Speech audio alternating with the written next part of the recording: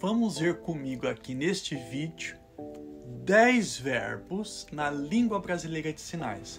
Vamos ver, vamos aprender juntos? Vem comigo.